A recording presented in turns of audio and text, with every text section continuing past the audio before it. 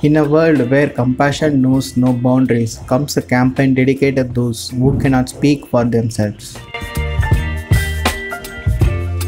Welcome to Food for Paws, a movement born out of love and empathy with a simple yet profound mission to ensure no poor friend goes to bed hungry.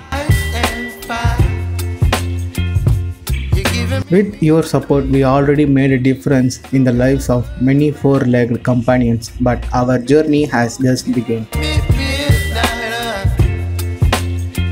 Hi everyone, I'm Sri Vignesh and I'm thrilled to introduce you Food for Paws. This campaign is all about extending a helping hands to our paw friend in need. I believe that every animal deserves love, care and a full belly. You can be a part of this incredible journey too, whether it's a super thanks support or volunteering or even spreading the word or sharing this video. Showing your support means the world to the innocent souls. Yes, now our channel has super thanks button where you can show your support so that every animal deserves love, care, full belly.